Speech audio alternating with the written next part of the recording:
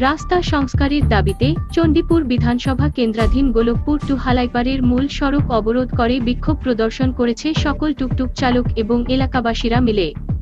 ঘটনার বিবরণে জানা যায়, চণ্ডীপুর বিধানসভা কেন্দ্রের অন্তর্গত হালাইপাড় থেকে গোলকপুর যাওয়ার রাস্তাটি প্রায় দুই থেকে তিন বছর ধরে বেহাল দশায় পরিণত হয়েছে। পাশাপাশি বড় বড় গর্তের সৃষ্টি হয়েছে সড়কটির উপর, তাই এক প্রকার বাধ্য হয়ে সকাল দশটা নাগাদ সকল টুকটুক চালক এবং স্থানীয় এলাকাবাসীরা মিলে গোলকপুর টু হালাইপাড়ের মূল সড়ক অবরোধ করে বিক্ষোভ প্রদর্শন করেছে।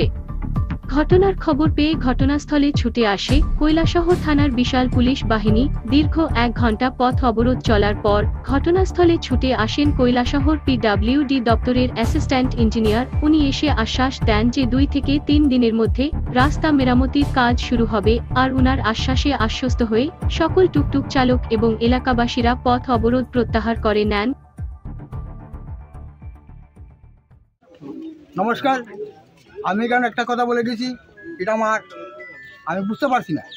এটা আমাদের যে সরকার সরকারের যে আমার প্রতিনিধি এবং আমাদের গুরুজন যারা আছে তাদের কাছে আমার নিত অনুরোধ। আমি একটা কথা ভুল- বলে গেছি। এটা আপনারা সবাই আমাকে মাফ করে দেবেন। আমি ভুল করে দিয়েছি। আর যাতে আমার কোনোদিন আর ভুল হয় না। এখন আছে পথ অবরোধ কেন করলেন? রাস্তা ভুল করেছে এটা আমাদের রাস্তাটা খারাপের জন্য। সাধারণ পাবলিক এবং গাড়ি থেকে দরিয়া টুকটুক থেকে দরিয়া বাইক থেকে দরিয়া সবাই মানে এই রাস্তার উপরে খুব হ্যাঁ। ইয়েতে দুঃখিত যে রাস্তাটা দিয়ে আমাদের কেন ঠিক হয় না। বারবার কদিন পর পর কাজ হয় টুকটাক কাজ হয় এবং সঠিকভাবে রাস্তাটা কাজ হয় না এবং সাধারণ পাবলিকও আমাদের এই রাস্তার উপরে দুঃখিত। যাতে সঠিকভাবে রাস্তাটা খাওয়া হোক অবিলম্বে।